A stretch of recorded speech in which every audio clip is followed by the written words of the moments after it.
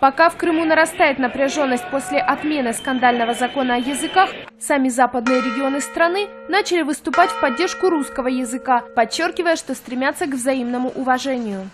Что касается Крыма, на улицах Севастополя прошла регистрация добровольцев в так называемые роты охраны порядка. Сообщается, что они будут мобилизованы в случае обострения ситуации в Крыму. Возмущение крымчан вызвало решение Верховной Рады об отмене закона о языковой политике, согласно которому русский язык имел статус регионального на полуострове. И хотя Киев заявил, что ущемление прав русских в Украине в связи с отменой закона не последует, крымчане опасаются насильственной украинизации.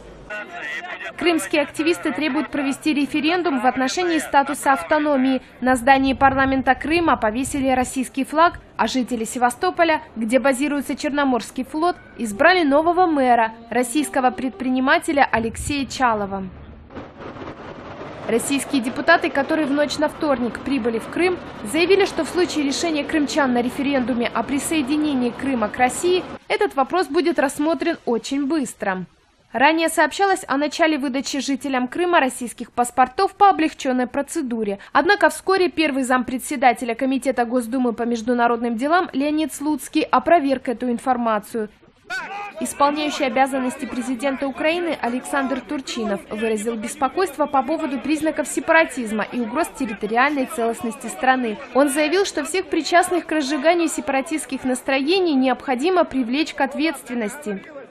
Во вторник российский МИД выразил свое возмущение варварской русофобской акцией во Львовской области, где демонтировали памятник русскому полководцу Михаилу Кутузову, русскому фельдмаршалу Наполеоновской войны. Напомним, Крым перешел Украине в 1954 году. Присоединение было объяснено экономической целесообразностью, однако некоторые утверждают, что это был подарок Никиты Хрущева в честь 300-й годовщины воссоединения Украины и России.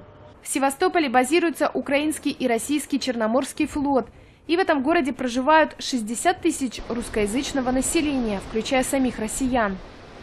В то же время интеллигенция западноукраинского города Львова опубликовала заявление в поддержку русского языка. Под ним, в частности, подписался и Юрий Шухевич, сын главнокомандующего Украинской повстанческой армии Романа Шухевича. В обращении сказано мы должны уважать культурные и языковые потребности жителей Востока и Юга, чтобы они не чувствовали себя чужими в Украине.